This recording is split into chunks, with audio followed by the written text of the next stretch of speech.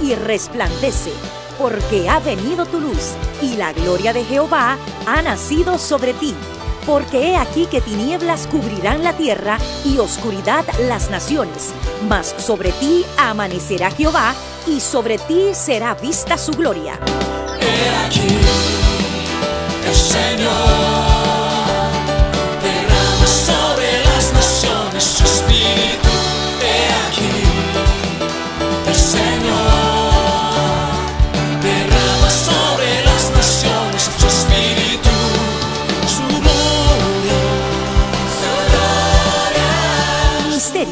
El Amanecer de la Esperanza presenta su programa Voz de Restauración con el pastor Juan Radamés Fernández.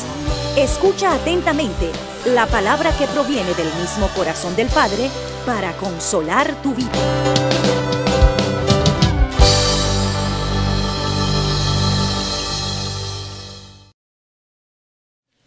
Mi hermano, mi hermana, en el nombre del Señor Jesucristo te damos la bienvenida a nuestra programación Voz de Restauración, como siempre deseando lo mejor de Dios para ti, para tu casa. Queremos que la palabra que va a ser predicada a continuación sea usada por Dios para ministrarte y equiparte y llenarte de todo fruto del Espíritu para que tú puedas ser un testimonio eh, y Dios pueda cumplir su propósito contigo y con los tuyos. Reitero, eres bienvenido, bienvenida a nuestra programación Voz de Restauración. Te reitero, Dios es bueno. Aleluya. Amén. Vamos a la palabra del Señor. Efesios capítulo 2, los versículos desde el 1 hasta el 7. Dice, y Él os dio vida a vosotros cuando estabais muertos en vuestros delitos y pecados, en los cuales anduvisteis en otro tiempo siguiendo la corriente de este mundo, conforme al príncipe de la potestad del aire, el espíritu que ahora opera en los hijos de desobediencia, entre los cuales también todos nosotros vivimos en otro tiempo en los deseos de la carne, haciendo la voluntad de la carne y de los pensamientos. Y éramos por naturaleza hijos de ira, lo mismo que los demás. Pero Dios, que es rico en misericordia, por su gran amor con que nos amó, aun estando nosotros muertos en pecados, nos dio vida juntamente con Cristo. Por gracia sois salvos. Y juntamente con Él nos resucitó y asimismo nos hizo sentar en los lugares celestiales en Cristo Jesús, para mostrar en los siglos venideros las abundantes riquezas de su gracia en su bondad para con nosotros en Cristo Jesús. Amén. Vamos a proyectar el versículo 3. Dice, entre los cuales también todos nosotros vivimos en otro tiempo en los deseos de nuestra carne, haciendo la voluntad de la carne y de los pensamientos. Estamos hablando de cómo los deseos gobiernan la voluntad. Y tenemos varias semanas estudiando el Señor de una manera espontánea, nos ha ministrado para aplicar la palabra y nos ha enriquecido. Yo deduzco que si el Señor, amados, se ha detenido tanto en estos mensajes, como sucedió con el orgullo y otros tópicos, es porque es de suma importancia. Este mensaje es muy relevante, es muy oportuno. En un tiempo como este, y yo diría que siempre, desde los apóstoles para acá, desde que se comenzó a predicar el Evangelio, desde que hay creyentes nacidos de nuevo, este mensaje de suma importancia. ¿Por qué? Porque después del Señor darnos salvación en Cristo Jesús, y nosotros por el regalo del hombre nuevo hemos adquirido la fe para aceptar a Jesús como nuestro Salvador, como dicen los primeros versos, que nos resucitó, porque estábamos muertos en nuestros delitos y pecados, y nos resucitó, aquí no está hablando tanto del cuerpo, mm, nos resucitó a la vida espiritual, porque el pecado nos mató, el pecado nos separó de Dios y Dios es la fuente de la vida. Y al dañar nuestra relación con Dios, entonces perdimos la vida y fuimos destituidos de la gloria de Dios. Pero como dice ahí Dios, que es rico en misericordia, por su mucho amor con el cual nos amó, estando nosotros muertos en pecados, nos dio vida juntamente con Cristo. Y esa vida es la vida eterna, la vida de Dios, la vida que hemos recibido en el hombre nuevo. Cuando nosotros aceptamos a Jesucristo por la fe como nuestro Salvador, simultáneamente, o sea, al mismo tiempo, lo estamos recibiendo como Señor de nuestras vidas. Porque salvarnos para dejar que nosotros mismos nos gobernemos, o que el que nos engañó, el diablo, nos gobierne, o que el reino que nos engañó, que es el reino de las tinieblas, sea el que reine en nosotros, en este caso el príncipe de este mundo, como antes le servíamos, y éramos hijos de ira, como dice ahí, si continuamos nosotros siendo hijos de ira y estando teniendo vida, vivir como muertos, entonces eso significa que ya no reina Cristo por la fe en nuestros corazones, sino que reina o la carne, como dice ahí en ese versículo, vivimos en otro tiempo, en el pasado, en los deseos de nuestra carne. Haciendo la voluntad, estamos hablando de la voluntad. Y hemos estudiado que la palabra, la palabra voluntad en el Antiguo Testamento, en, en algunas ocasiones se traduce como corazón. La palabra corazón, el corazón, como hemos estudiado al principio de estos mensajes, es el centro de la vida del hombre. Puede eh, sonar algo metafórico, porque el corazón que, conocemos es, un, aquí un órgano que bombea la sangre, pero espiritualmente, de hecho originalmente la palabra en hebreo no es corazón, sino, sino riñón, porque se creía que por la función de riñón de purificar la sangre viene la idea, pero eh, en la traducción se traduce corazón, porque el corazón es el centro de la mente, el centro de la vida del hombre y representa todo lo que es el ser, cuerpo, alma y espíritu, todo el ser del hombre le llamamos corazón. La palabra corazón, como estudiamos, tiene implicaciones, tiene, se traduce de, de varias maneras y todas las maneras convergen, eh, están en armonía para decir lo mismo, es el centro de la vida del ser humano. Ahí están las, los pensamientos, pero también eh, en el corazón se gestan las intenciones, las motivaciones. Somos movidos por convicciones e intenciones y muchas veces nos arrastran los deseos, que es lo que dice ahí. Ahí habla de que antes nosotros éramos arrastrados eh, por los deseos y los pensamientos. Deseos pueden ser los caprichos, esas necesidades de la carne, impulsos de la carne, complacencia de la carne, la vanidad de nuestros sentidos. Y los pensamientos pueden hablar ya de nuestras decisiones. La importancia de este tema es que el que tiene la voluntad tiene el corazón de una persona. El que tiene la voluntad gobierna. Porque la Biblia dice que somos esclavos de aquel a quien obedecemos. El hombre, cuando fue hecho originalmente, era perfecto y servía solamente a Dios. Y Dios era el Señor de Adán y de Eva. Pero cuando nuestros padres fueron seducidos por el archienemigo, entonces él llegó a ser el príncipe de este mundo y llegó a gobernar la vida del hombre. ¿Cómo lo ha logrado? Lo ha logrado a través de nuestra naturaleza pecaminosa.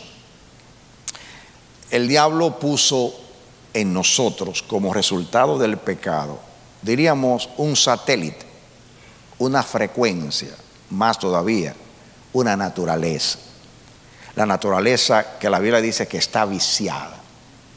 La naturaleza que la Biblia dice, hablando de esa naturaleza que está en nosotros, que no hay quien busque a Dios.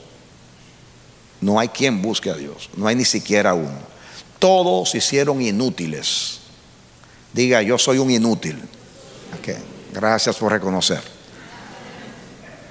En Adán somos inútiles.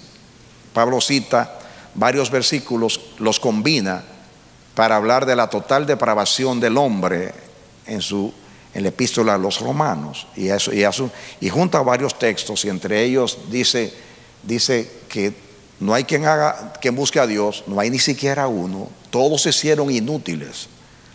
Y habla y dice sepulcro abierto es su garganta, hablando del hombre. Es algo serio. Ustedes saben que cuando usted habla un sepulcro, usted sabe que usted no puede durar un ratito allí del, del mal olor, de la peste, como dicen en Puerto Rico. Entonces, ese es el hombre. El hombre es descomposición de muerte. Ese es el hombre. Y todo lo que el hombre habla, respira, es eso, muerte, descomposición, inmoralidad. Toda obra infructuosa de las tinieblas. Y Jesús dijo que del corazón salen los adulterios, las fornicaciones, la lascivia, el robo, en fin, todo lo malo nace del corazón. Y en el corazón es el corazón el que decide por eso Dios anda en pos del corazón y dice, dame, hijo mío, tu corazón. La iglesia, históricamente, en forma de triunfo, ha proclamado que Jesucristo es el Señor. Muchas iglesias tienen ese nombre, Jesucristo es el Señor. Se han escrito libros acerca de que Jesucristo es el Señor. Se han compuesto innumerables canciones, Jesucristo es el Señor. Y todo cristiano consciente que se le pregunte va a decir solamente hay un Señor, Jesucristo. Ahora, una cosa es que llamemos a Jesús Señor.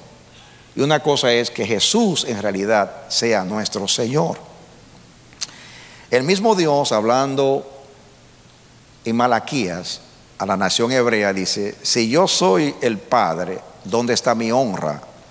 Y si yo soy Señor, ¿dónde está mi temor? Porque al Señor se le teme por lo que Él es.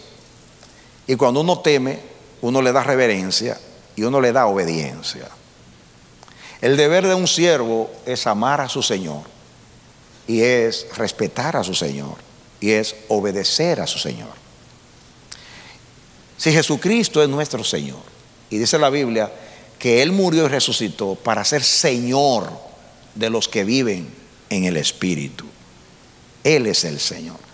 Él murió y resucitó por nosotros para ser Señor de nuestras vidas.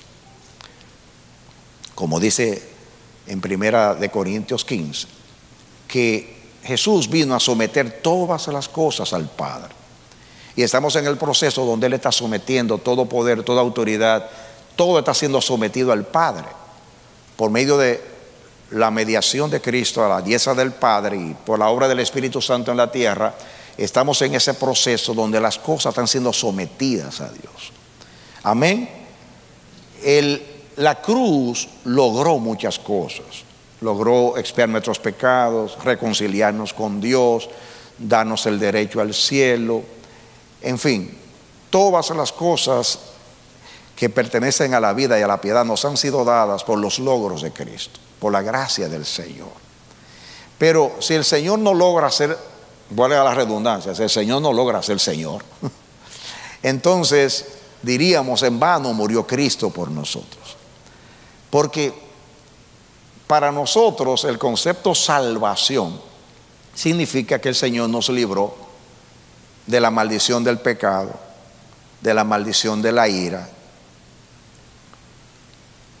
de, toda maldición, de la condenación. Y eso es verdad. Pero si Él nos libra de todo, pero nuestra voluntad todavía sigue cautiva entonces es como si no nos hubiera libertado. ¿No están de acuerdo conmigo? O sea, me, me libera y soy un esclavo. Me desencadena y ando con grillos arrastrando las cadenas.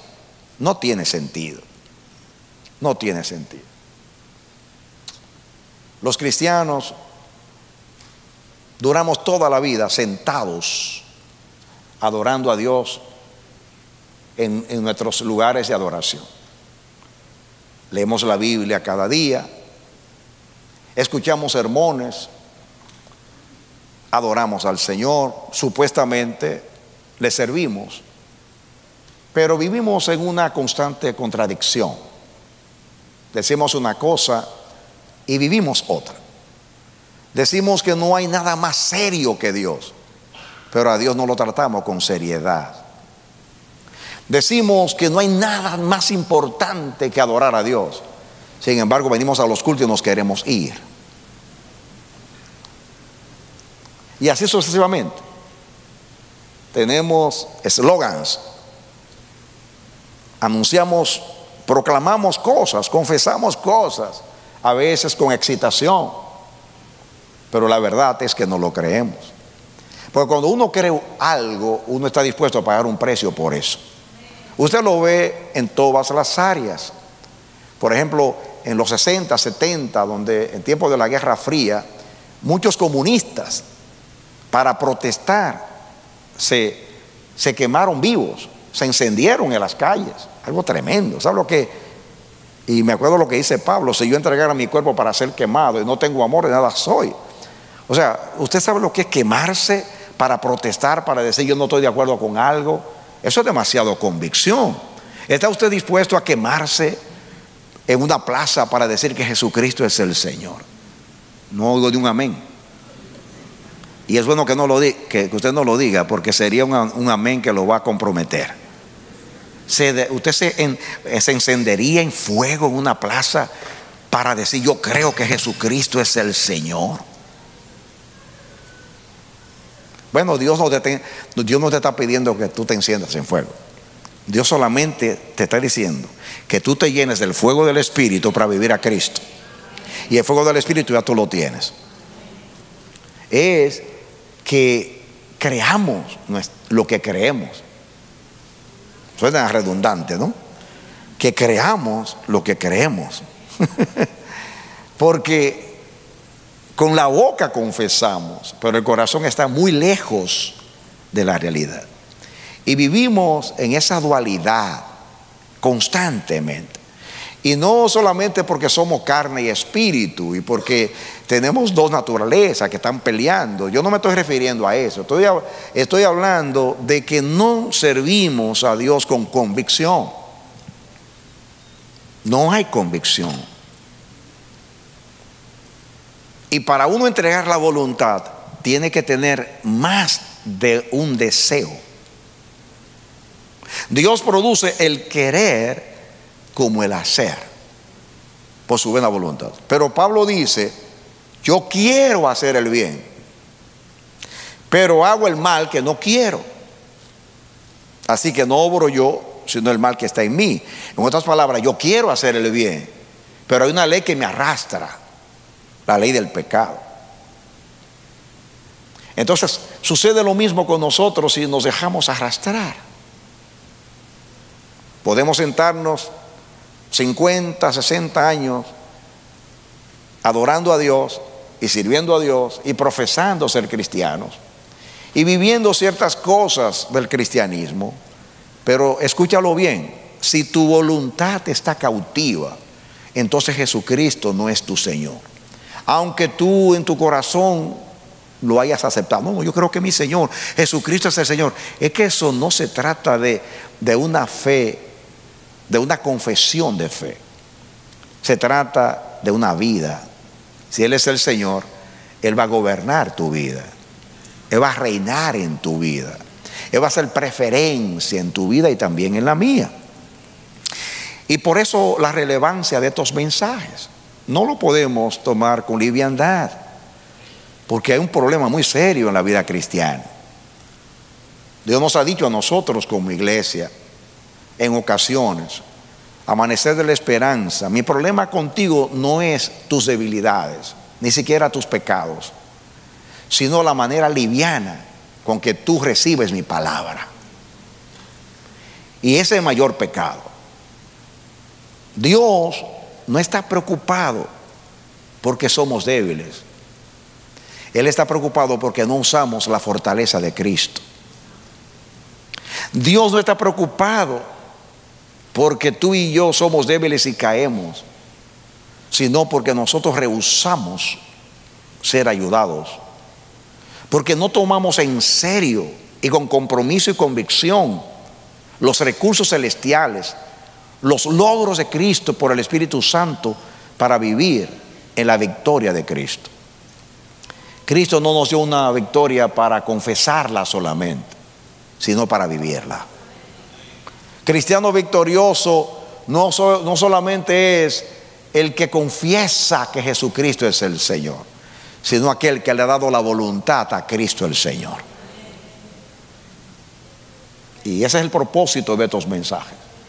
No es que tú te sientes ahí a deleitarte en la palabra de Dios, como los griegos cuando Pablo estaba allá en Atenas y Pablo dice, dice que ustedes son muy religiosos, porque dice que ellos no se compla, solamente se complacían en escuchar algo nuevo, una filosofía nueva. Llevaron a Pablo al tribunal del aerópago para ver esta nueva doctrina. Y, y estamos así, como el que quiere escuchar algo nuevo. Y el mensaje de Dios viene siendo como el cántico agradable de un trovador, como es el profeta. Y lo escuchamos, y lo escuchamos, y lo escuchamos, y no hay un compromiso. Yo quiero decirte que la palabra de Dios es viva y es eficaz. Y es penetrante como todo espada de dos filos. Esa mañana cuando meditaba en esta palabra, creo que el Señor me dio una instrucción. Me dijo, toma todos los textos que hablan de la palabra y hazlo tuyo. No que lo prediques, hazlo tuyo. Y yo me vi en mi espíritu diciendo, lámpara es a mis pies tu palabra y lumbrera mi camino. Lámpara es a mis pies tu palabra y lumbrera mi camino. Señor, que esto que, que la palabra me ilumine. Señor, que entre a mí. Señor, que no sea un texto aprendido. Señor, yo quiero que entre a mí. Señor, yo me adueño de esa palabra. Señor, que esa palabra sea verdad en mi vida. Otro texto santifícalos en tu verdad. Tu palabra es la verdad. Santifícame en tu palabra. Que sea verdad en mi vida tu palabra, Señor. Que sea verdad en mi vida. Otro texto. La palabra es útil para enseñar, para redarguir, para corregir, para instituir en justicia. Y Dios me dice, y lo voy a hacer. Lo voy a hacer. Voy a comenzar a meditar hasta que estas palabras penetren en mí. Porque yo quiero ser un hacedor de la palabra. No un, no un oidor, sino un hacedor de la palabra. Amén. Y yo creo que en general por muchos años he tenido una pasión por Dios y una pasión por agradar a Dios. Pero no es suficiente. Todavía no me siento que lo he logrado, que lo he alcanzado y lo digo con sinceridad de corazón. Quiero eso. Quiero eso. Alguien dijo que los ideales son como las estrellas. No podemos alcanzarlas, pero podemos guiarnos por ellas. Porque en la antigüedad los, los marineros se guiaban por la, por la estrella polar, antes de existir la brújula. Entonces, eh, los ideales de Dios, y nosotros somos una casa profética, y, Dios nos predica siempre los ideales. Los libros que escribimos, todos son, están llenos de ideales, pero son ideales que, son, que ya Cristo los alcanzó y que en el hombre nuevo lo podemos alcanzar. Pero Dios quiere que sean una brújula para nosotros. ¿Saben lo que es una brújula? Es una aguja imantada con un imán que marca siempre el norte. Y de esa manera se guiaban los, los, los marineros antiguos. Tenemos que, guiarnos por la palabra, comprometernos con la palabra. Teníamos que meditar. Yo lo hago. Yo les he dicho a ustedes que yo, miren, les voy a decir algo de mi secreto. Ustedes me ven orando públicamente y, palabras no me faltan. sabe que fluyo, fluyo, fluyo como un río. Pero cuando yo tengo la presencia de Dios, ese fluyo yo no lo tengo. Se lo digo al corazón, no lo tengo. Y he llorado y Señor, porque yo no lo tengo en tu presencia. Dice Dios, porque una cosa es orar delante de la gente y una cosa es orar delante de mí. Y me dice, es mejor que sea así. Porque no es, no es tu chorro de palabras, sino cuán puro sea tu corazón y cuán aferrado te a Cristo.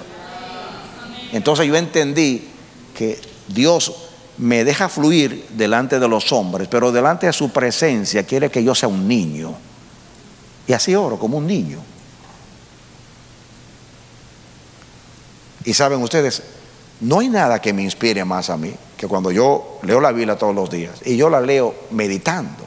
Así que cuando estoy leyendo y algo veo un asunto que yo creo que debe ser, ahí me paro y ahí, ahí y comienzo a orar ahí, ahí comienza a fluir. Ay Señor, yo quiero eso, Padre, dámelo Señor. Dios quiere, yo quiero, Dios quiere darme una relación íntima, profunda y directa con su palabra, que es con Él mismo. Porque una cosa es el don de intercesión fluyendo delante de los oídos de los hombres. Y una cosa es, Dios dice, ahórrate la palabra, yo quiero tu corazón en la intimidad. Dame tu corazón en la intimidad. Por eso le digo, yo no voy a tratar de impresionarte con palabras porque sería imposible impresionar a Dios.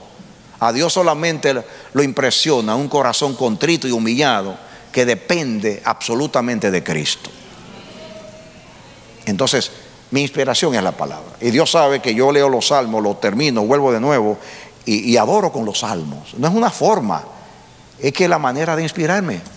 La palabra es la que inspira. Es útil para inspirar. Entonces, Dios me, dice hoy, lo mismo que tú haces con todos los días en tu meditación diaria, con porque yo leo la, palabra, la ley, los profetas, los salmos, el Nuevo Testamento, y leo en esas cuatro porciones y tengo un marcador en cada uno. A veces me detengo varios días o semanas en un lugar, paso aquí, a veces leo todas partes, pero termino la Biblia, vuelvo a la comienzo. Así, para que la palabra penetre a mí. Pero ahora Dios me dio una instrucción. Toma los textos que hablan de la palabra y medita. Y yo lo voy a hacer. ¿Saben por qué? Porque yo creo que Dios me quiere bendecir. Y lo estoy diciendo para que ustedes sean bendecidos. Porque si Dios instruye hacia su pastor, la instrucción es para ti. Tómate los versos de la Biblia que hablen de la palabra y detente un día entero. Señor, lámpara esa a mi pie tu palabra. Señor, yo no quiero hacer una confesión vana, Señor. Yo no quiero estar repitiendo aquí religiosamente. Quiero que la, Biblia me ilumine, que ilumine mi mente, que ilumine mi corazón, que ilumine mi sendero. Señor, dame la fortaleza de la palabra. La, esa, y, la palabra es creativa. Por, por, la palabra de Dios, dice que por, por la palabra Jehová creó los cielos y la tierra. Crea en mí, oh Dios, un corazón limpio. Renueva un espíritu recto dentro de mí con tu palabra. Lámpara esto. Leas el Salmo 119, para allá voy yo entero. Yo medito en ese salmo. Para mí que fue Cristo que lo escribió. Porque nadie tiene un apego tan grande por la palabra que Jesucristo. Y perdone que hable de corazón, porque yo digo, Señor, yo tengo aquí, bien hermano, aquí está el tema de hoy. Yo, hay un tema, yo no sé si voy a llegar al tema, pero Dios está más interesado en el corazón que en el tema. En sacudirte, en estremecerte, en decir, Señor, esto es serio, Señor, hay una urgencia, Señor, hay una emergencia, Señor, cuando, cuando llega una ambulancia, la ambulancia no está pidiendo permiso, hay una sirena que todo el mundo se echa a un lado para que pase, todo el mundo sabe que llevan a una persona herida o enferma en esa ambulancia. Los bomberos van y la policía cuando hay un fuego y todo el mundo se echa a un lado y la gente grita desde allá y tienen algo para cuando se lance tomar la parte de abajo. Cuando hay urgencia y cuando alguien llega casi muerto a un hospital, usted ve el correteo cuando lo llevan para cirugía. Amados, esto es más serio que el trabajo de los bomberos que trabajo de las ambulancias, que trabajo de los médicos. Estamos bregando con el cielo y el infierno. Estamos bregando con la eternidad. Esto es serio. Esto es serio. Es preocupante. Preocupante ver cómo vive el hombre de hoy. Sin Dios es en esperanza. La gente vive y me voy a morir y, no está pensando siquiera dónde va a ir. Algunos piensan que porque le dan eh, limosnas a la iglesia o hacen algo, se bautizaron cuando era niño o iban a la- una iglesia evangélica, ya piensa que ya tienen el cielo asegurado. Y qué tremenda sorpresa cuando pasan el túnel y lleguen del otro lado. O sea, no están pensando en eternidad. Dice el necio en su corazón, no hay Dios. Es muy triste. Los predicadores antes hablaban del infierno como algo real. Si hay un cielo, hay un infierno. Lo predicó Jesús. ¿Cuánto le creen a Jesús? Es serio que la gente se está muriendo y pasa la eternidad sin Dios. Es serio, amados. Es serio. Y lo grande es que piensan que se murieron y que, que ya no hay más, na- más nada después. Y qué tremenda sorpresa. Yo le dije a un ateo, ¿y qué tal cuando tú te mueras si hay un cielo allá o si hay un infierno? ¿Qué tal? Porque tú estás basado en tu corazón endurecido por la causa que sea, por tu razón que tú estás llegando a Dios. Ahora, amados, nosotros supuestamente tenemos el cielo asegurado en Cristo. El asunto es que Dios no solamente quiere que tengamos el cielo asegurado, sino que Dios se quiere asegurar que tu corazón le pertenece. ¿Tú entendiste? ¿Me comuniqué bien? Dios no está tan interesado en que tú tengas la seguridad del cielo. Él quiere tener la seguridad de que Él tiene tu corazón. De que tú en realidad te convertiste. De que tú en realidad tú le estás sirviendo. Es serio. Es serio. Y es una oración que yo hago repetidamente delante de Dios. Señor, abre los ojos, los míos y los ojos de tu iglesia y los ojos del mundo.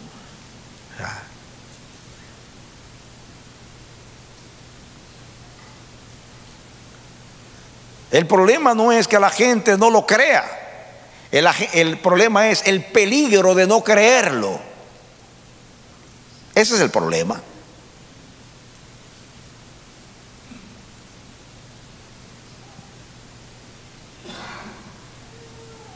Cristianos comprometidos con Dios, sinceros, cristianos que viven en el Espíritu y que Cristo es el todo para ellos, se pueden contar. No hay muchos.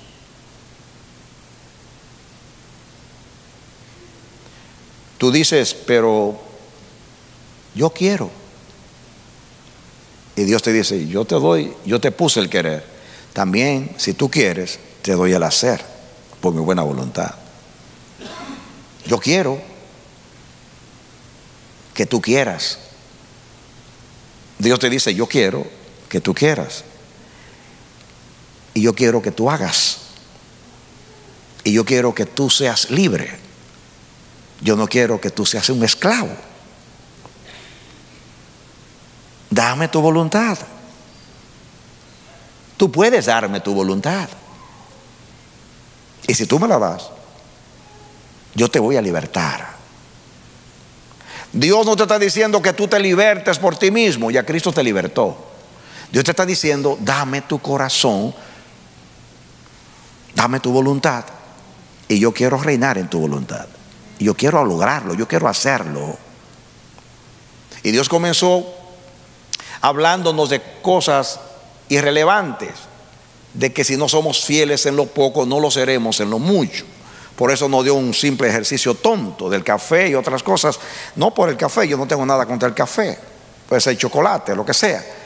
Cualquier cosa que te gobierne se ha, se ha adueñado de tu voluntad y ese es el propósito de esa sugerencia de Dios. Estamos en serio. Estamos en serio. Noten que hace poco Dios nos habló mucho del orgullo. Ahora nos habla de, de la voluntad. Si ustedes se ponen a pensar que el orgullo, el orgullo se apodera de tu, de tu corazón. El ego se apodera de tu corazón. El ego, el ego, es un rechazo a Cristo, es un rechazo a Dios, es un rechazo, es un rechazo a la buena voluntad de Dios, a la gracia de Dios, porque el orgulloso piensa que no tiene necesidad de nada como el audicense. Y Dios aborrece el orgullo justamente porque el orgullo es un engaño. Es un engaño. Y, y el Señor está yendo directamente como el cirujano, con precisión, a la parte afectada de nuestro ser interno, porque quiere hacer una operación de su poder en nuestro interior. Dios no quiere que vengamos aquí a entretenernos. Dios quiere venir aquí y nos trae para sanarnos, para liberarnos. Tenemos que tener ese interés. No puede el médico tener más interés que el enfermo en que el enfermo sea sano. Yo creo que la, necesidad del enfermo, la necesidad del enfermo debe, pues, hacer que el enfermo busque ayuda. No es el médico, en este caso Jesucristo, el que debe estar tan interesado. Ya el, interés del médico ya lo conocemos. Él es de los enfermos que quieran ser sanados. Amados, son muy pocos los libres. Somos muy pocos los libres.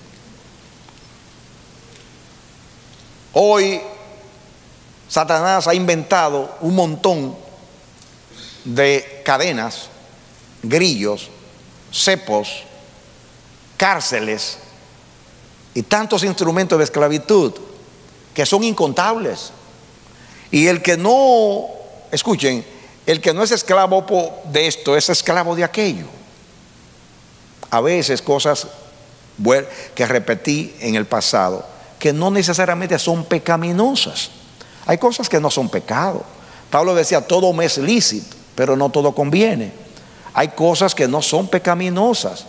El entretenimiento. Usted se puede entretener con algo que, que sea sano, que no ofenda a Dios. Pero el entretenimiento se puede convertir en una atadura. Te quita el tiempo de Dios. Y así hay muchas cosas. Si elijo os libertar, seréis, dígalo conmigo, verdaderamente libres. Recuerden ustedes cuando nos, nos, nos dividíamos las palabras en sílabas, verdaderamente libres. Cristo no te quiere engañosamente libre, aparentemente libre, sino verdaderamente libre. Dale un aplauso al Señor.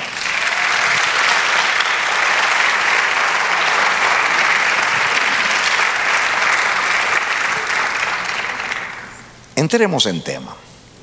Efesios 4:22. Aquí está hablando del hombre viejo. Dice, en cuanto a la pasada manera de vivir, despojaos del viejo hombre. Escuchen ahora, que está viciado conforme a los deseos engañosos.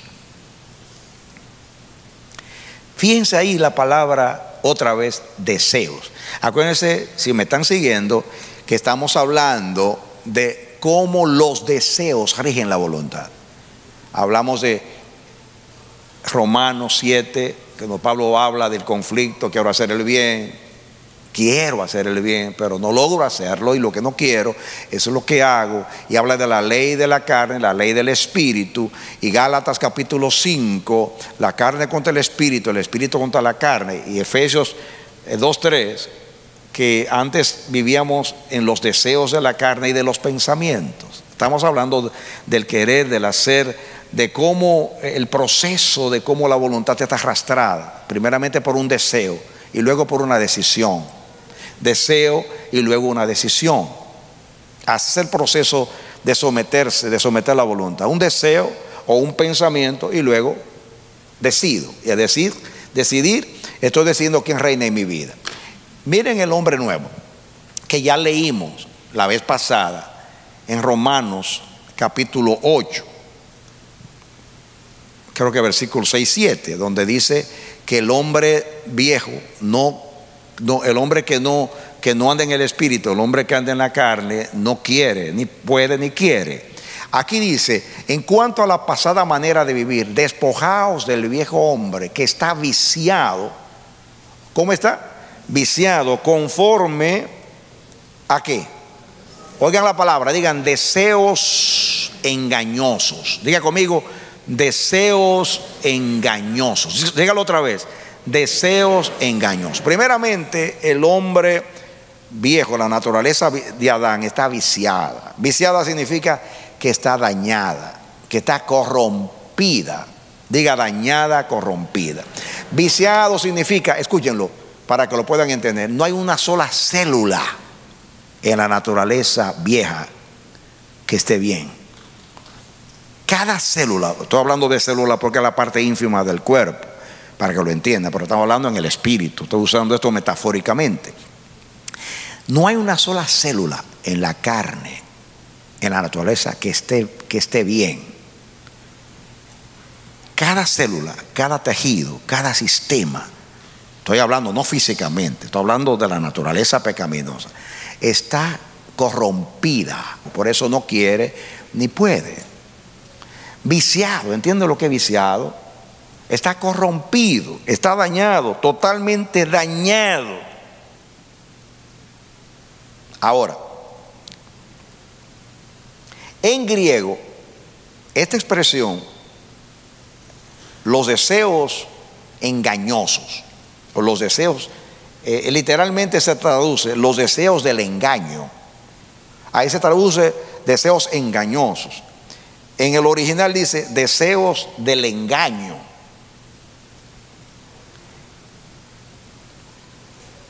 Y dice Vine en su diccionario, explicando esto gramaticalmente.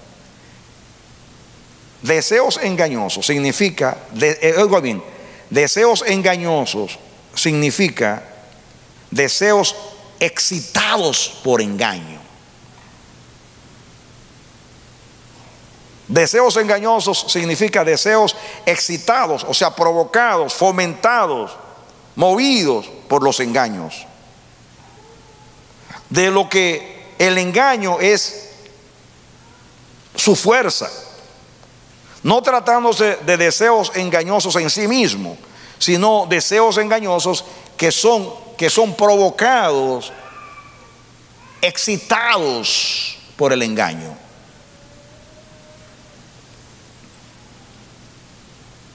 En otras palabras,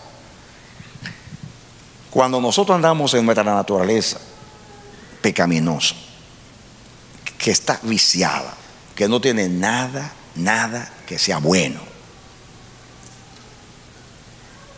ahí nace, nacen los deseos engañosos. Deseos que nos excitan y nos llevan al engaño. Fíjense que no es tanto que los engaños, que, que, oigan, como dice aquí, el deseo nos lleva al engaño. También el engaño nos lleva al deseo. Ambas cosas son verdad. Pero el énfasis aquí es de deseos excitados por el engaño.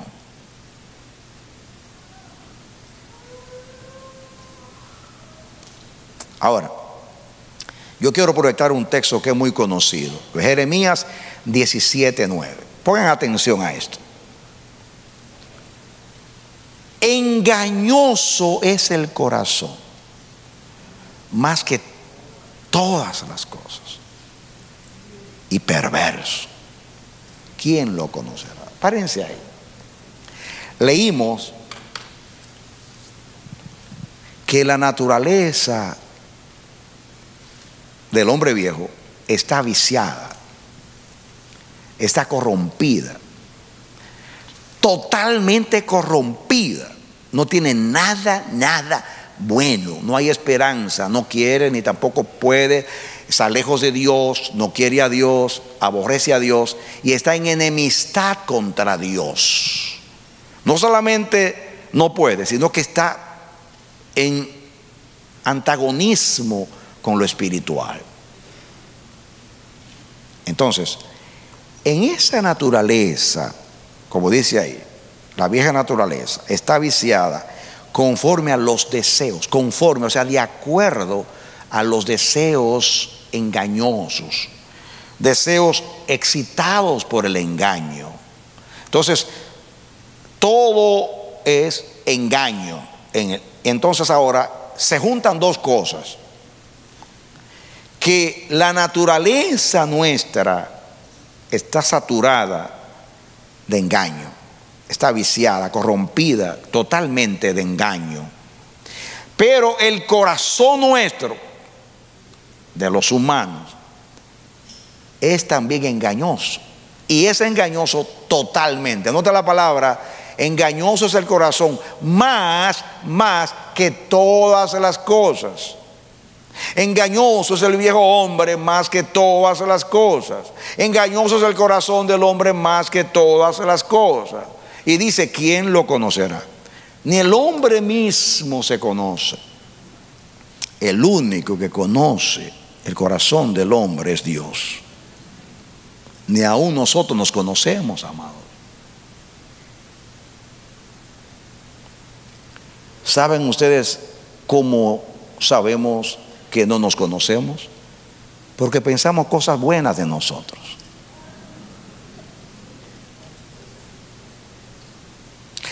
Cuando estamos discutiendo con alguien, el esposo, la esposa, nos defendemos. Y todo, yo siempre digo, Señor, ayúdame a que yo no sea abogado de mi carne. Porque imagínense ustedes, hermano, solamente los abogados mentirosos defienden a los culpables sabiendo que son culpables y presentan pruebas de que son inocentes. Y tú y yo, todos nosotros, cada vez que nos defendemos, de, aunque, aunque, oigan bien, defendernos, ya defendernos, estamos cediendo al engaño. Porque tú no eres pecador cuando tú pecas. Tú eres pecador aunque tú no peques. Y si tú eres pecador, ya tú debes pedir perdón. Porque eres pecador y tú le sirves a un Dios justo, santo y bueno. Y Cristo te libró justamente del pecado. Échale mano a eso. Hace mucho tiempo que Dios me ha revelado eso en mi vida personal. Me dice, no, no, tú tienes que pedir perdón, aunque tú no ya sé, tú crees que tú no, has- que tú no has hecho daño. Pero el corazón es engañoso. Engañoso. ¿Por qué es tan difícil para el ser humano el arrepentirse? Porque el arrepentimiento es una obra del Espíritu Santo. Usted no se puede arrepentir usted mismo, porque arrepentimiento significa cambio de mente. ¿Y cómo usted va a cambiar de mente? Si su mente está corrompida. La Biblia dice que la mente del hombre está corrompida y es ajena a la vida de Dios. El apóstol Juan es mucho más fuerte. Juan dice que todo aquel que dice que no ha pecado está haciendo a Dios mentiroso. En otras palabras, cada vez que usted se defiende, está diciendo Dios es un mentiroso. Yo estoy correcto, Dios es un mentiroso. Yo estoy bien, Dios es un mentiroso. Porque ¿quién es que dice que tú estás corrompido, que tu corazón es engañoso, que tú estás enfermo desde la cabeza hasta los pies, que no hay que tú eres una podrida llaga, que no hay nada bueno en ti? Eso no lo digo yo. Ni lo dices tú, ni lo, ni lo dice nadie. Lo revela Dios en su palabra. Y cuando tú dices que tú no pecas ni has pecado, tú estás diciendo que Dios es un mentiroso. Yo prefiero decir que mentiroso soy yo que decir que Dios es un mentiroso. Amados, yo soy un ser humano. Yo no estoy hablando a ti por ti, estoy hablando por mí. También por mí, porque yo comparto contigo lo mismo. Mi naturaleza nat- adánica está corrompida. Mi mente es de continuo al mal. Mi corazón es perverso. Y yo no lo conozco. Entonces, comencemos desde ahí. Y ojalá que Dios nos haga entender esta partecita, tanto el corazón nuestro, que es el que rige la voluntad, donde nace la voluntad, es perverso y es mentiroso. Y la naturaleza que rige mi corazón también está corrompida. ¿Puedo yo, por mí mismo, someter mi voluntad a Dios cuando estoy totalmente discapacitado, incapacitado?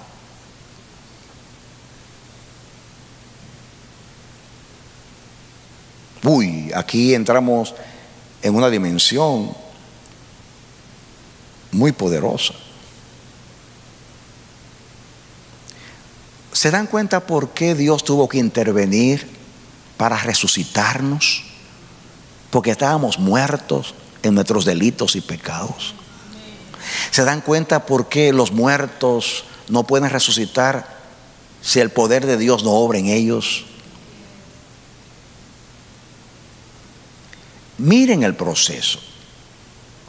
Aquí está hablando de los deseos excitados por el engaño. Y yo te voy a decir a ti que casi la mayoría, o no decir todos, los deseos que, no son buenos, están excitados por el engaño. Porque el corazón es engañoso y es perverso y tú no lo conoces. La Biblia dice, la Biblia dice que es un tonto el que se hace fiador de un extraño. La Biblia habla mucho de lo que, hacen, lo que, se hacen fiadores de un extraño.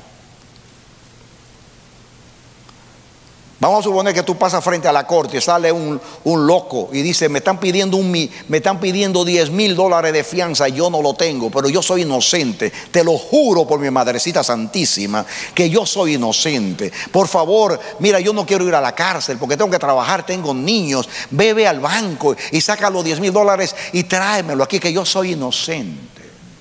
¿Tú lo harías? ¿Tú lo harías? No oigo a nadie diciendo na- ni siquiera amén. No lo harías. ¿Por qué no lo harías? Primeramente, no te conozco. Yo no te conozco. Si aún a los conocidos no le puedo creer, ¿tú te imaginas a un desconocido? Porque ¿cuántos conocidos el esposo? ¿Cuántos esposos han engañado a sus esposas llorando con buena cara, muchos besos y mi reina, mi reina, y mi reina? Y engañándolo por detrás. Y mi reina, y te amo, y te amo, y te amo. Porque quieren su cuerpo. Engañoso, todo engaño y mentira. Y viceversa. Esposas salameras, como decía mi mamá. Muchas palabras bonitas y, y hay engaño por detrás, infidelidades y muchas cosas. Ah. En otras palabras, la Biblia lo dice, lo dice el profeta, no creas en tu madre, en tu padre, en tu... Y eso lo usa Jesús cuando dice, el que no dejare padre, madre, mujer, por seguirme a mí. Es citando la idea del profeta. De en otras palabras, no se puede confiar en los conocidos muchas veces, mucho menos en los desconocidos. Es tonto y, y se expone el que confía en un extraño. Ahora yo te lo voy a aplicar. La Biblia dice que tú no conoces tu corazón. ¿Y por qué lo defiendes? Contéstame. Si tú no conoces tu corazón, ¿por qué lo defiendes? Porque estás tan convencido de tu corazón. ¿Por qué tú te echas a todo el mundo en contra y refuta defendiendo tu corazón? Y eso aplica también a mí, amado. No solo está hablando de ti, está hablando de mí, pero estoy hablándote a ti. Pero Dios sabe que eso rebota para acá. Como tira, tira la pelota y ¡ping! y viene para atrás, viene para atrás. ¿Ah? Cuando yo hago así, miren, hay cuatro dedos para acá y uno para allá. Porque yo, yo también me estoy predicando a mí. Y, yo- y estoy aprendiendo. Mientras expongo la palabra, yo aprendo. ¿Cómo puedo yo defender a un desgraciado que me apartó de Dios y que trajo a Cristo a morir en la cruz del Calvario? ¿Cómo? ¿Cómo voy a decir a Dios que Él es el mentiroso y yo no soy el mentiroso?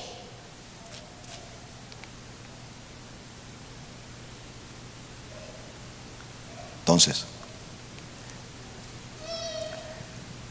se necesita humildad para reconocer y confesar. Por eso Dios nos habló en contra del orgullo. Pero se necesita no estar bajo engaño para poder reconocer que mi corazón es malo, que está viciado y que es perverso y que yo no lo conozco. ¿Me están siguiendo? No los conozco. ¿Y cómo voy a ser fiador de mi corazón si yo no lo conozco?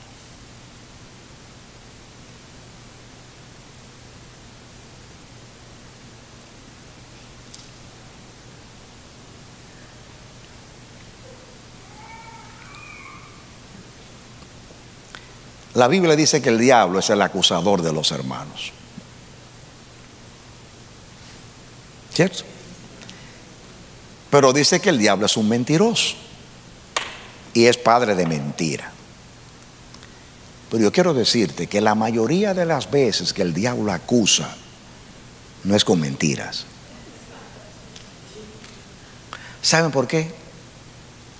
Porque el diablo acusa a aquellos que son como él, mentirosos y malos. O díganme, ¿no tenía razón en muchas de las cosas que dijo de Job?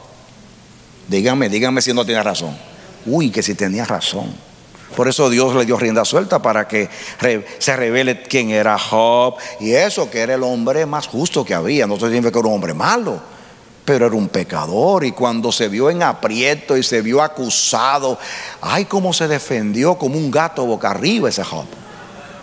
Unos argumentos le salieron todas las revelaciones de Dios, como nadie conocía a Dios. Wow, pero habían tres ahí que conocían, tenían revelación como él, y comenzaron allí, y esa era una guerra de revelaciones. Y, Job con aquellos cuatro hablaron cosas de Dios que nadie ha hablado, de tantas profundidad. Wow. Y el diablo, ay, dale, dale, dale, Job, defiéndete, Job. Wow. Y eso que le dijeron uno de los amigos a Job, que le dijo, Miren lo que le dijo. Yo tengo un sermón de eso que poderoso. Le dijo, le dice, tu esperanza es tu integridad. En otras palabras, tú defiendes tanto tu integridad que se ha convertido en tu esperanza, cuando tu esperanza debe ser Dios. ¿Tú crees que tú eres inocente porque tú abogues a favor de tu inocencia? Cuando la Biblia dice que no hay, no hay uno que sea bueno estamos corrompidos de la cabeza hasta los pies. Si fuéramos sabios, viviéramos pidiendo perdón, aún por nuestras buenas obras.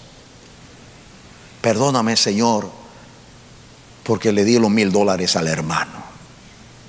Perdóname, Señor, porque fui paciente en ese momento cuando me provocaron.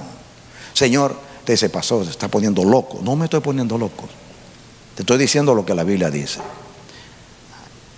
Dios me ha dicho a mí muchas veces, tienes que pedir perdón por tus buenas obras, porque todas están dañadas y afectadas con malas motivaciones.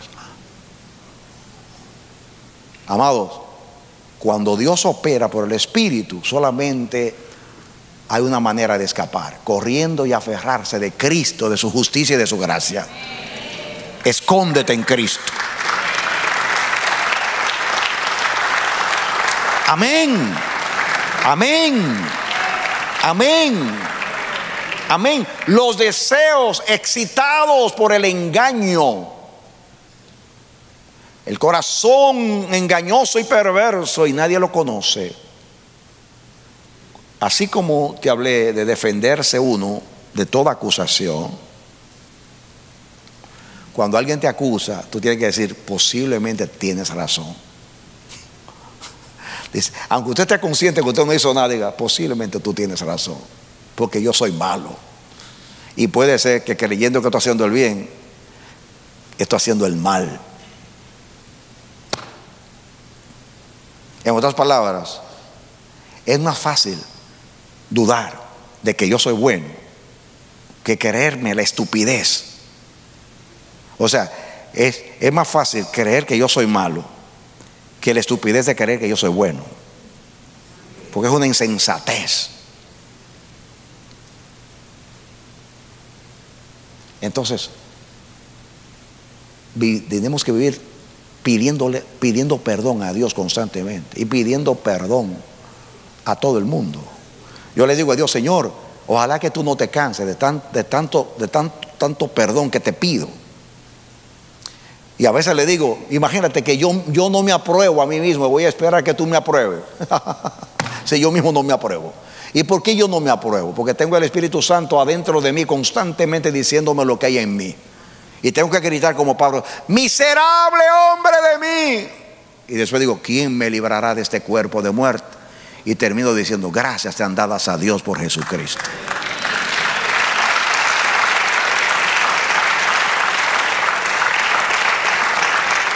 Ustedes saben que muchos intérpretes idealistas piensan que, en Romanos 7, cuando Pablo habla de, ese, conflicto, yo quiero hacer el bien para una ley que me lleva cautivo, y eso, dice que esa no era Pablo, que está, Pablo está hablando de él. Porque ideal- ideal- idealizaron tanto a Pablo que piensan que Pablo no tenía las luchas que nosotros tenemos. Es como a María que le hicieron inmaculada. Idealizamos tanto los santos de Dios, pero Dios no idealiza a nadie. Dios dice que Dios dice que Moisés era el hombre más manso de la tierra, pero dice que no entró a Canaán porque se airó. Dios dice que Abraham era el padre de la fe, pero dice que iba a entregar su mujer para que se la viva el faraón para salvar su pellejo.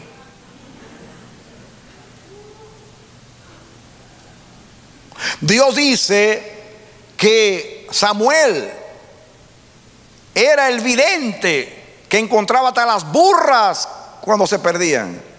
Pero dice que ese vidente, el día que tenía que ver, que era para ver quién era el ungido de Jehová, ese día no vio porque se puso a mirar la apariencia y no el corazón.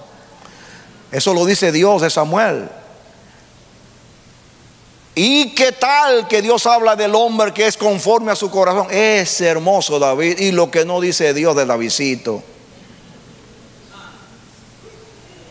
Dios no oculta los errores de sus, de sus hijos, pero también destaca sus virtudes. Me gusta cómo Dios se dirige a las siete iglesias del Apocalipsis. La iglesia dice, el testigo fiel a la iglesia, a la iglesia de Éfeso. Y dice, yo conozco tu fe, conozco tu paciencia, conozco tu servicio, pero tengo contra ti que dejaste tu primer amor. Pero le dice las cosas buenas. Buenas significa que han obrado en el espíritu. Porque cuando usted hace algo bueno es porque usted anduvo en el espíritu, porque de usted no salió. No se jacte usted en algo correcto que hizo. Dele gloria a Dios que el Espíritu Santo tomó control y gobierno de tu vida.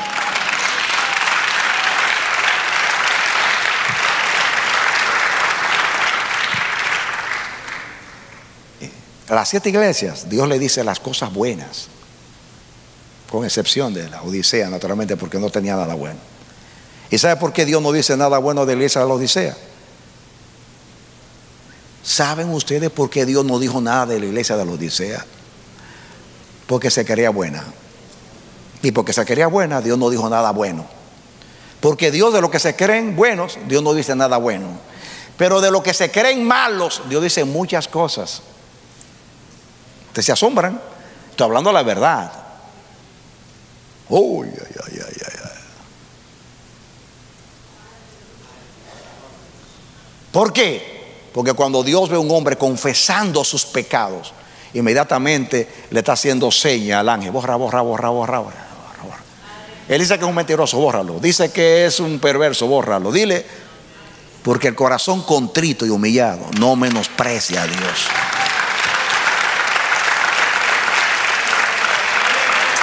Amén, amén. Si confesamos nuestros pecados, Él es fiel y justo para perdonar nuestros pecados y limpiarnos de toda maldad. Limpiarnos. Cuando tú confiesas, tú eres limpio por la sangre de Cristo. La pregunta mía es, ¿hay mérito en la confesión? No, no hay mérito en la confesión. Lo que pasa es que el que confiesa lo que es, es porque necesita al Dios que es. En otras palabras, cuando usted confiesa, está diciendo, yo soy malo, yo necesito ayuda, ayúdame que yo no puedo. Y Dios dice, yo ayudo a los que no, a, a los que no pueden. Yo soy abogado de los que no se defienden. Soy abogado de quiénes? De los que no se defienden. ¿Tú quieres tener a Dios como abogado? No te defienda. Están diciendo que tú eres un ladrón. Yo no he robado, pero puede ser. Puede ser. Es que yo soy ladrón, aunque yo no haya robado. Porque el robo está en mí, ¿o no? Usted dice, yo nunca he robado. Bueno, porque usted no se ha visto con hambre en un lugar, siete días sin comer, encuentra un pedazo de pan de alguien ahí, entonces se lo va a robar para sobrevivir. Ah. Ah. Solamente George Washington nunca habló una mentira. Eso dicen la gente. Una no, millones sí.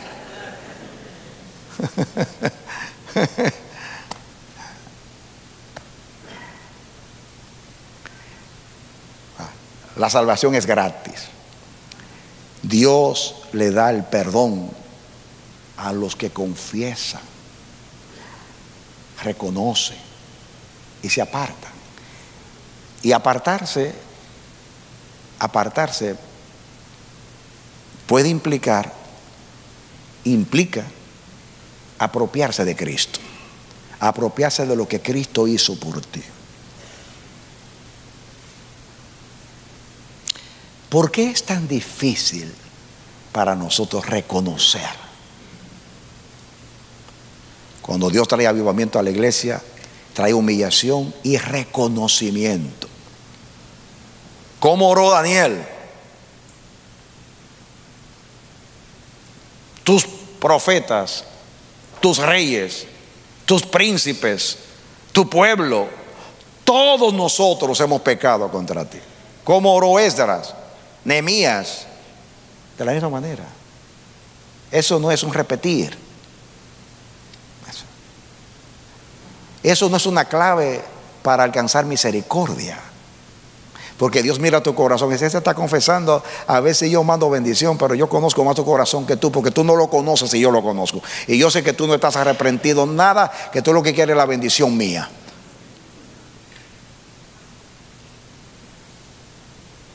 Yo soy malo, pero puede ser que sea bueno. Así, así andamos. ¿no?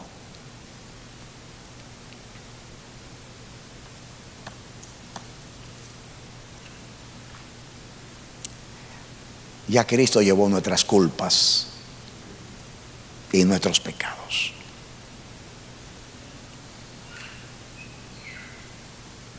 Si yo no soy lo que Dios dice que yo soy, entonces en vano vino Cristo y en vano murió Cristo. Porque Cristo vino por lo que yo soy. Y si yo no reconozco lo que yo soy, entonces murió en vano por mí.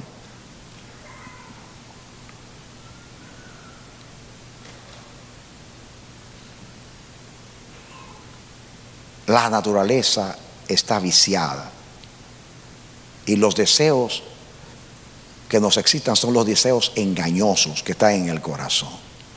Yo quiero que me viene a la memoria Segunda de Corintios, capítulo 11, versículo 1. Segunda de Corintios 11, 1. Dice Pablo, oigan bien, ojalá me toleraseis un poco de locura. Sí, toleradme. Porque, porque os celo con celo de Dios.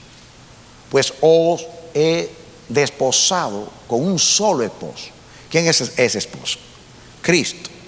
Para presentaros como una virgen pura a Cristo. Está hablando a la iglesia de Corinto. Sigue.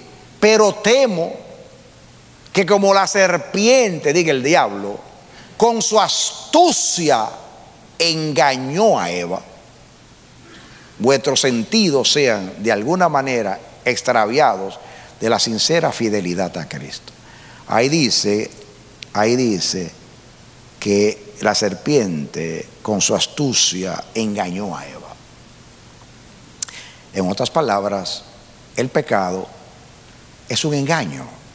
Diga conmigo, el pecado es un engaño. Dígalo otra vez, el pecado es un engaño. Y todo el que peca está engañado. El pecado es un engaño. Ah, no lo creen. Entonces vamos a leer otro texto para que lo crean. Hebreos 3:13. Hebreos 3:13. Ve lo que dice. Hebreos capítulo 3, versículo 13. Antes, exhortaos los unos a otros cada día, entre tanto que se dice hoy, para que ninguno de vosotros se endurezca por el engaño del pecado. Párense ahí, se endurezca, ¿por qué cosa? El engaño del pecado. El pecado entró por un engaño. Y estamos hablando de los deseos excitados por el engaño. Y Eva fue excitada por un deseo engañoso. Porque el diablo le dijo, si tú comes, tú serás como Dios. Entonces nació en ella un deseo. Él suscitó un deseo engañoso. Tú serás como Dios. Wow, ¿quién no quiere ser como Dios? Y Eva cayó, vio el árbol diferente, bueno para alcanzar sabiduría, y comió. Entonces, esa es la astucia del diablo usar los deseos engañosos. ¿Cuántos deseos engañosos nos arrastran a nosotros? Déjenme el texto ahí. ¿Cuántos deseos engañosos nos arrastran? Casi todos los deseos son engañosos.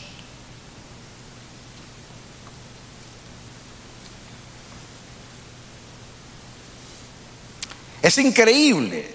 Pablo dice, yo tengo temor que así como la serpiente engañó a Eva, vuestros sentidos también sean, caigan en el engaño y ustedes no puedan servir con fidelidad a Cristo. Estamos hablando que son los deseos engañosos los que nos arrastran a entregar la voluntad a esos deseos engañosos. Como Eva, Eva entregó su corazón y el de Adán por seguir un deseo que era un engaño porque no llegó a ser como Dios, ya ella era como Dios. En otras palabras, el diablo estaba diciendo, si tú comes, tú serás como yo, no como Dios, tú serás como yo. Engañador y mentiroso que cayó de arriba porque quería ser igual a Dios, tú serás como yo.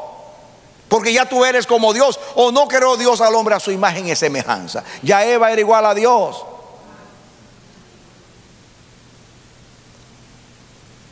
Lo que Eva no conocía era el mal. Y al comer del, árbol conoció el mal. ¿Y quién que solamente conozca el bien quiere conocer el mal? Denle un aplauso al Señor.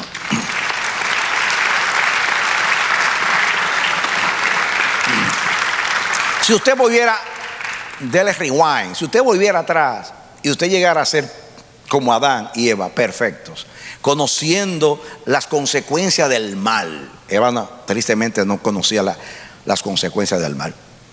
Usted, dígame, usted quería, usted comería ese árbol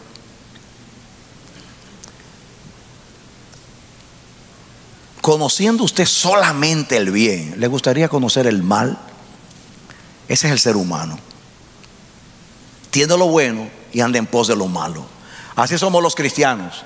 Tenemos todo lo bueno. Todas las cosas que pertenecen a la vida, a la piedad nos han sido dadas. Hemos sido enriquecidos. Tenemos al Padre, al Hijo, al Espíritu Santo, a los ángeles, a la palabra. Hay un propósito, hay vida eterna. Todo es nuestro, nosotros de Cristo y Cristo de Dios. Y andamos buscando en el mundo lo que el mundo lo, lo que va a hacer es destruirnos. ¿Por qué queremos tener lo que nos destruye? Lo que nos daña, lo que nos separa de Dios.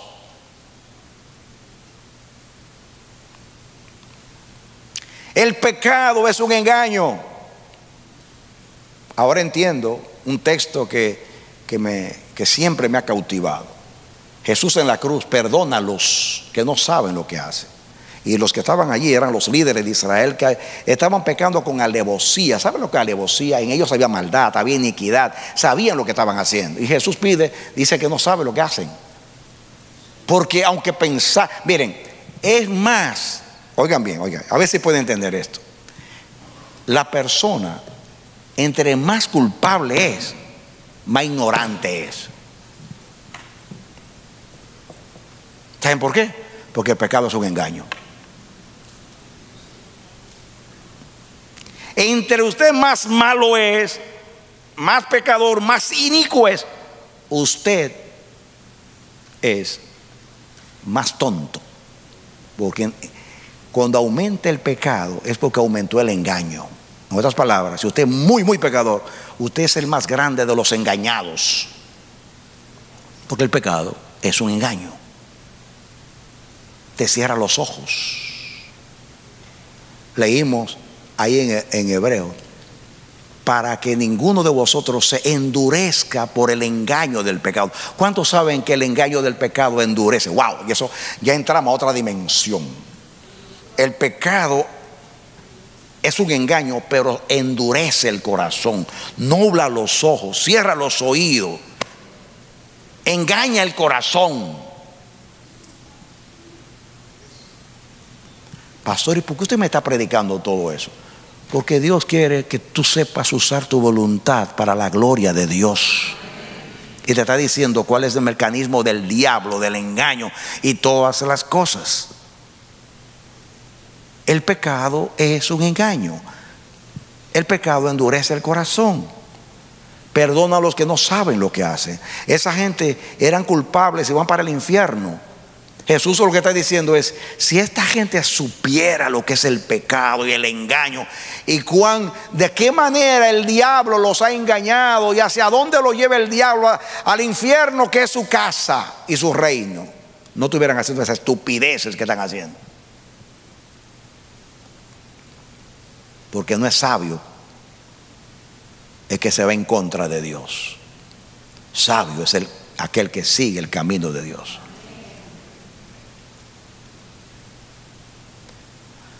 Antes exhortados los unos a otros. Por eso estamos exhortando aquí.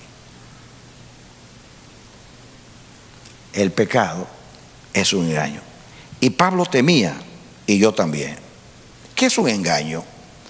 Engañar es hacer aceptar como verdad, verdad o ver algo verdadero o válido lo que es falso o inválido. Eso es engañar, según el diccionario hacer aceptar como verdadero o válido lo que es falso o inválido. Hacer que alguien crea algo que no es cierto. Hacer creer a alguien que algo falso es verdadero. Eso es engaño.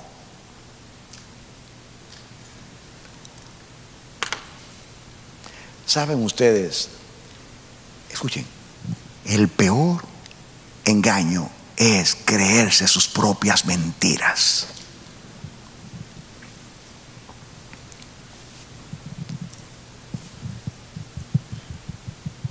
No estoy haciendo un corte de circuito, sino aplaudiendo así.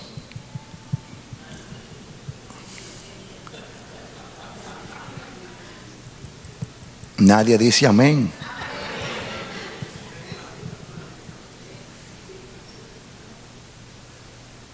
¿Saben ustedes que las personas que se defienden están creyendo sus propias mentiras? Eso es revelación. Cada vez cuando defendemos, estamos, ¿qué?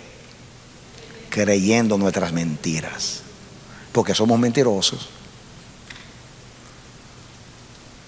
Y estamos creyendo que somos verdaderos. Y estamos defendiendo que somos verdaderos cuando somos mentirosos.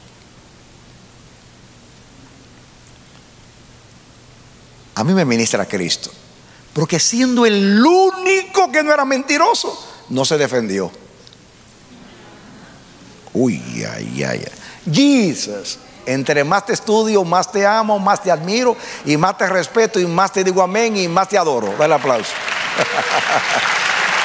amén. Gloria a Dios. Y dice Pablo que hizo con dignidad, su, defendió su profesión delante de Pilato. Y Pilato se enojó viendo tantas acusaciones y él no hablaba.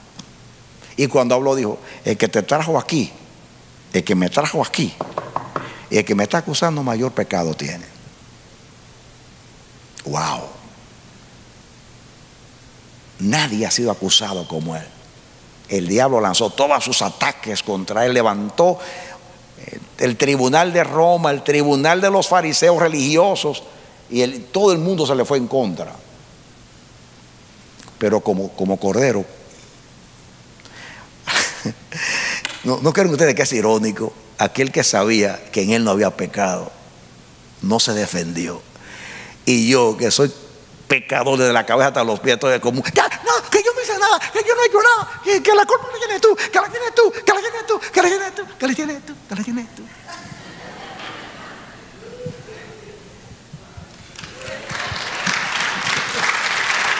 Amén. ¿Por qué me estoy burlando? Porque el pecado es un engaño. Y Dios lo está desenmascarando. Porque Pablo dice que desenmascaremos las obras infructuosas de las tinieblas. Ese es lo que dice el original. Desenmascaradlas. ¡Ih! ¿Cómo hizo Dios con el orgullo? Le quitó la máscara al orgullo. Ahora se la, se la está quitando al pecado en todas sus dimensiones. El engaño del pecado. ¿Cuántos piensan que están engañando al Señor? Haciendo cosas que saben que el Señor los está mirando. ¿Cuántos hay que piensan que están engañando a la esposa? Pobre esposita. Tonta la esposa mía. ¿Cuál? Cinco veces le he sido infiel. Y mira, pobre, ah, pobre. Mira, la mira, solamente le doy un caramelito, le llevo a comer, le doy un abracito, tres besi- besitos, le digo que la amo y mira qué tonta. Tengo una tonta en mi casa. ¿Sabes qué? El que engaña, en último análisis, solo se engaña a sí mismo.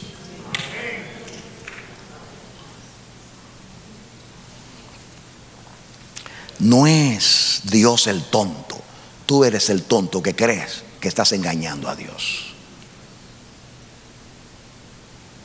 No es la esposa, la tonta, eres tú y yo los tontos.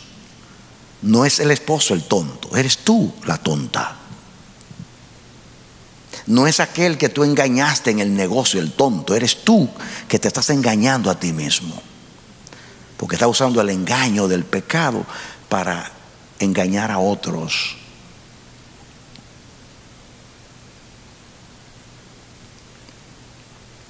Y en todo esto que estamos hablando, la protagonista se llama la voluntad, que es la que responde o al engaño o al espíritu. O al engaño, a la carne, al pecado o a la voz del espíritu.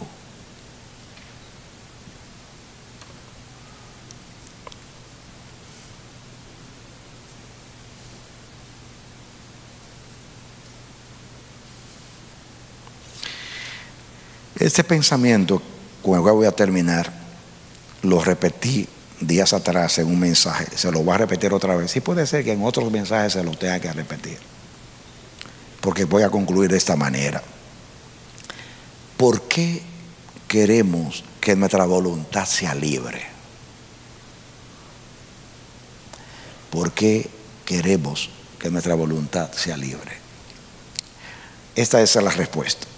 La importancia de ser libres no es para nuestro propio beneficio o para nuestra conveniencia. Ser libres es la manera de poder pertenecer absolutamente a Cristo. Te lo voy a repetir. ¿Por qué queremos que nuestra voluntad sea libre? La importancia de ser libres no es para nuestro beneficio o conveniencia. Ser libres es la manera de poder pertenecer absolutamente a Cristo. Es la forma de servirle solamente a Él. No tener otro Señor que no sea Cristo. Es deslealtad al señorío de Cristo cuando nuestra voluntad tiene otros amos o señores. Es deslealtad a Jesucristo y a su señorío cuando mi voluntad pertenece a otra persona que no sea Cristo. Entonces, no estamos no, no queremos ser libres simplemente para beneficiarnos, sino para ser fieles a aquel que todo lo dio para hacernos libres. Dar un aplauso al Señor. Aquel que todo lo sufrió para que seamos libres. Que Dios nos libre del engaño del pecado. Que Dios nos libre de los deseos que son excitados por el engaño. Que Dios nos libre a reconocer lo que somos para que Dios pueda intervenir en nuestras vidas. Que Dios toque en nuestros corazones, el mío y el de ustedes, para que seamos humildes y podamos reconocer lo que somos para que Dios sea en nosotros. Oremos a Dios. Padre bendito, Dios bueno y eterno. Gracias, muchas gracias por esta palabra. Una vez más, tú has hecho un intento de rescatarnos de nuestra mala manera de vivir. Dios mío, tú andas en pos de nuestra voluntad, porque ya tú la santificaste, ya tú la redimiste. La voluntad nuestra ya te pertenece, pero en este proceso de la santificación, en el cual queremos librarnos de la naturaleza vieja adánica, pues muchas veces dejamos de andar en el espíritu, nos sometemos al hombre viejo y al engaño del pecado y seguimos en pos de los deseos producidos y excitados por el engaño. Pero tú has abierto hoy los ojos nuestros a través de la revelación de la palabra. Y Señor Dios, por favor que esta vez entendamos, pero entendamos para huir de las pasiones, de los malos deseos, de los engaños. Danos el corazón humilde para reconocer que somos pecadores, que fallamos, que nunca nos convertamos en abogados de nuestra carne, sino que Señor reconozcamos lo que somos para poder apropiarnos de lo que tú eres. Tú enviaste a Jesús por nosotros para librarnos. Danos tal corazón, Señor, un corazón sincero que confiesa lo que, lo que somos, Señor. Danos ese corazón que confiesa que se arrepiente, que se convierte, que se vuelve a ti, Señor. Un corazón que depende de ti, un corazón que corre hacia la gracia tuya, un corazón que se cubre con el manto perfecto de Cristo, un corazón que se apropia del poder santificador del Espíritu, un corazón, Dios mío, que crea la palabra tuya y no solamente la confiesa, sino que depende de ella, porque si la palabra hizo el universo y la palabra sostiene todas las cosas y la palabra en el verbo Jesús se hizo carne para redimirnos, y la palabra nos hizo nacer a una, a una esperanza viva. Esa misma palabra es la que nos puede rescatar del poder del pecado y del engaño. Padre, en el nombre de Jesucristo, que no se en vano tantas predicaciones, que no se en vano tanta revelación. Haz una obra en el corazón, en el nombre de Jesús. Padre, agrádate, Padre, desciende, Padre, interven. Padre, tienes que hacer algo por amor a tu nombre. Te necesitamos, Señor. Sin nada podemos hacer. Estamos como, como Daniel en el foso de los leones. Nos sentimos como los jóvenes hebreos en medio del fuego. Tú solamente puedes rescatarnos. Ven, entra al fuego de las pruebas. Ven, entra al fuego, Señor del mal en este mundo. Ven, entra porque leones quieren comer nuestra carne. Y venimos a ti, oh Dios, y nos auxiliamos y socorremos en ti. Ayúdanos, Señor, en el nombre de Jesús. Llévate el orgullo, la altivez, la arrogancia. Abre los ojos del entendimiento. Que caigan las escamas en nuestros ojos, Señor. Ilumínanos. Que salgamos de aquí, Dios mío, determinados en el nombre de Jesucristo. Por amor a tu nombre, Señor. No nos dejes a la voluntad nuestra. No nos dejes, Señor, a expensas de, de, nuestras debilidades. Por favor, interven, Señor. Como te digo constantemente, solo una intervención tuya puede librar a la iglesia de este presente siglo malo. Solamente una intervención del Espíritu Santo, como lo hiciste en el día del Pentecostés. Lo reclamamos, lo anhelamos, gritamos, Señor, sálvanos. Como Pedro cuando se hundía, Señor, sálvanos por amor a tu nombre nombre. Sálvanos del pecado, sálvanos del engaño del pecado, sálvanos de nuestra autosuficiencia, sálvanos del espíritu laudicense que se cree que está bien. En el nombre de Jesucristo te necesitamos. Sin ti nada podemos hacer y sin ti nada queremos hacer. Escucha hoy nuestra oración, Señor. Oramos en el nombre de Jesús. Jesús, mediador, sumo sacerdote, intercede delante del, del, Padre con ruegos indecibles. Espíritu Santo, lleva nuestra petición al cielo. Hay que intervenir. Interven, Señor. Interven. Y digo como el salmista, no sea que dejándonos tú seamos semejantes a lo que descienden al Seol. Interven, Señor. Interven, Señor. Hermano, pídale una intervención a Dios. La iglesia necesita una intervención del Espíritu Santo, una intervención sobrenatural. Esto no se va con buenos deseos. Esto se va con la intervención poderosa de Dios en nuestras vidas. Padre, en el nombre de Jesús, en el nombre de Jesús, yo oro por este pueblo, yo oro por mis hermanos que están en la audiencia, yo oro por ti, mi hermano, en el nombre de Jesucristo. Que la palabra se, se haga vida en ti, ahora, ahora, ahora, ahora. Que esa palabra que abrió los ojos a los ciegos, ahora mismo te abra los ojos también a ti. Que tú sientas el ardor de la como aquellos dos caminando en Maús, que tú digas no ardía el corazón cuando Dios nos hablaba, que tú, que tú digas como aquella multitud en el día de Pentecostés, ¿qué tengo que hacer para ser salvo? Ay, que tú seas compungido de corazón y yo también, en el nombre de Jesucristo. Le decimos al pecado, basta ya. Le decimos al engaño, no más. Le decimos a Cristo, llegó la hora para que tú intervengas a favor de tu pueblo porque tú ya nos libraste. Tú nos libras. Y dice el apóstol que también nos librarás. En ti esperamos y no seremos avergonzados. En el nombre de Jesús. Jesús, confiamos en tu justicia. Aleluya. Amén.